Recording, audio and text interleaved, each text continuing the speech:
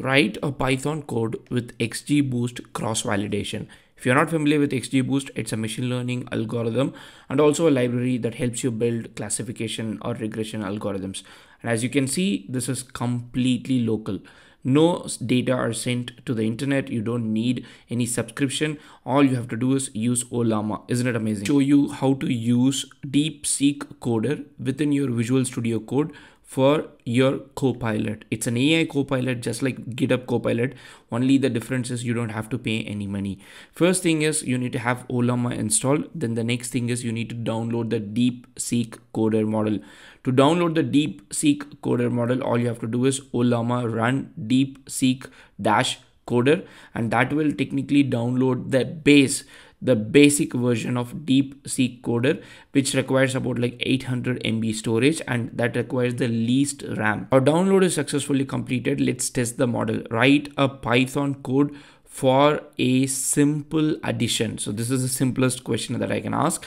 And as you can see that it has successfully given you the answer. Time for us to go ahead and install the Visual Studio extension, which in this case is Continue.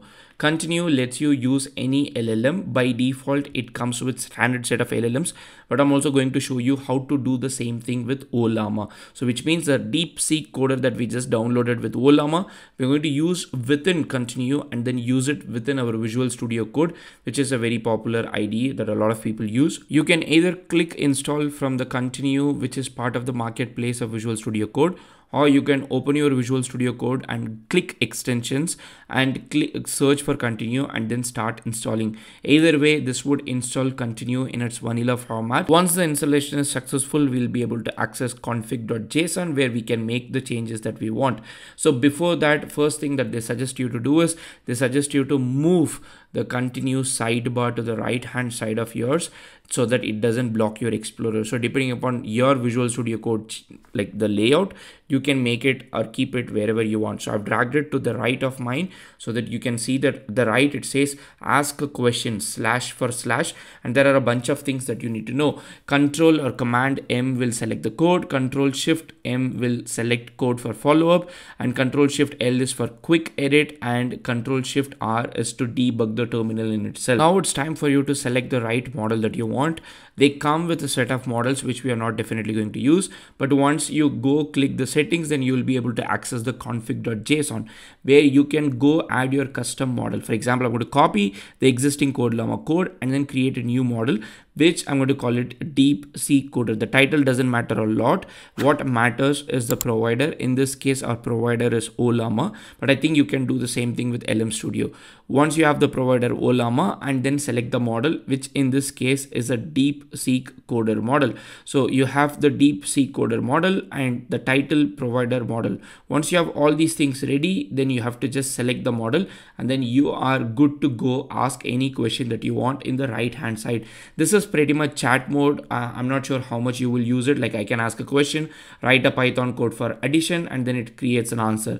The answer is a little bit gibberish at this point when you see that is primarily because we are using the very base model of DeepSeek Coder. So if you want better result, you need to use at least a 7 billion parameter model, which in this case would take about like 8 GB of your space and you need to have appropriate RAM also. You don't want to use DeepSeek Coder, you want to try some other model. So in this case, you can try Ollama run stable LM Zephyr to try the particular model.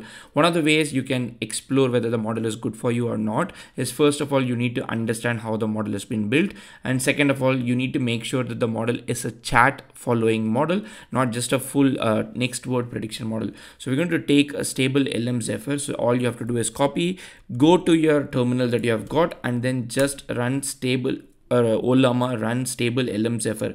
So at this point, this will start downloading the model, which in this case is a 1.6 gigs of model. So once this model is downloaded, then you should be able to directly use it within your Visual Studio Code using continue, which I'll quickly show you how to edit the config.json file. Once the model download is successful the one thing that you need to make sure that you have Ollama serve on. Either open the Ollama software or just run Ollama serve just to make sure that all the models that we're discussing about are available through the Ollama endpoint locally within your computer. So that is one thing for you to keep in mind. The second thing for you to keep in mind is if you don't like sharing anonymous data with continue.dev go to the extensions and click the settings that you have got. And once you click the settings you'll see extension settings. And inside extension settings you will see an option to send the telemetry data. If you don't feel comfortable in sending telemetry data disable this. That would not send any data from your computer to continue at least that's what they're promising. So now coming back to the terminal or wherever that you downloaded the model so just you can send any question then ask for a quick check write a python code to add two numbers. That's it. That's what the question is. And you can see that it has given you much cleaner answer than what deep deepseek coders base model gave. So now all you have to do is go back to your visual studio code open the config.json file and inside that you have to add a small block within the models. So you would see models and within that you will have to add the small block title is stable zephyr provider is ollama and the model is stable zephyr once again. This model name comes from the ollama library in itself which you can just go and click here and then see from the ollama library. Or we just downloaded it so we don't need it because we just copied it literally from there once you have this save the file and go back to any file that you have got. And if you do not see the right sidebar where you got continue all you have to do is control shift m and then you would get this thing. Once you get this particular screen then you can either like click new session with control M, command m and then you can select the model that you want. So in this case you can select either stable zephyr or you can select stable deepseek coder i'm going to select stable zephyr and i'm going to start writing a new python code so i'm going to use command shift m which is to ask any question or you can open a new file and then do command shift L which just has been indicated here. So I'm going to just go here and then say write a python code that would take an input name and then reverse it and print it. So this is all I want. All I want is to get the name and then print it back. Somehow this particular model did not work. So i'm going to go back to the deep deepseek coder model that we already have and then i'm going to do the same thing. Command shift l command shift l write a python code to get the name and then return the reverse of it so i'm not saying that it should get the string. All i'm saying is this. So it just wrote this python code. And as you can see one of the problems that i face with a deepseek coder is that it keeps on adding this um, little markdowns which i don't like it. But anyways you can accept it or you can do all these shortcuts if you want. I'm going to just simply accept it save it and then run it. Once i run it you can see that it takes the input and then it just gives you the output. But it doesn't take the input from me. So i'm going to just select all and then command shift. Let me close this. So i don't need any of this. Please can you go away? That's good. So i can go here and then ask the same question or the other option is i can select all command shift L once again just to edit the highlighted code. Can you modify the code to take the user input? So i'm going to ask this thing so that this code is modified to take the user input not necessarily give me whatever it is already there.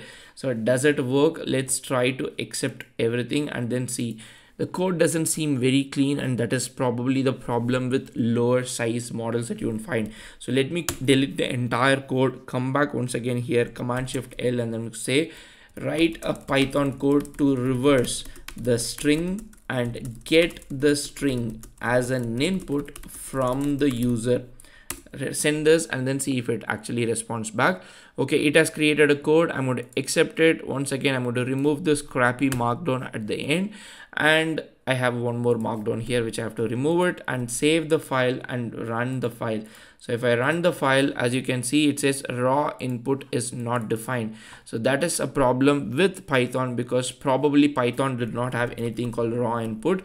And if you know a little bit of Python, you would know that that was probably there in the previous one. And I'm going to just save it as input and run this once again. It says, please enter your text. I'm going to say one little coder here. And once you see it, it has successfully reversed it. One L I T T L E C O D E R. So this way you can use it with any model. So if you've got a different model, all you have to do is control shift M and then you can just click the settings config file and then go here and then say, for example, I want Mistral and I can say Mistral and I can save this once again and come back here and then run this. So for example i can go here and then say mistral and then control command shift l.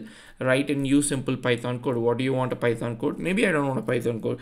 Write a simple javascript application that can add two numbers and that's it. Send it. And then technically it should write a javascript code even though i've uh, saved the file as a .py file. Maybe that's the dumbest thing to do. So it says replace python with javascript and it does okay accept accept. And uh, once you accept everything you have the file ready and you can just make the changes that you want. The point is that this may not be 100% replacement of your github copilot because the quality of model depends a lot.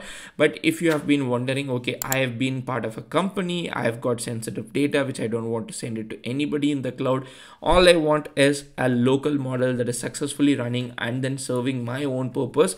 And this is exactly the local model and you can call this model and you can see the logs also how much time it takes so that you can play with different models of different sizes of different varieties there are more to this thing than what i just showed you but the idea here is that to introduce Ollama and also extension like continue that you can use to play with this kind of different local models. I hope this tutorial was helpful to you in learning how to run a local copilot as an alternative to GitHub Copilot without any cloud interface. If you have any question, let me know in the comment section. Otherwise, see you in another video. Happy prompting.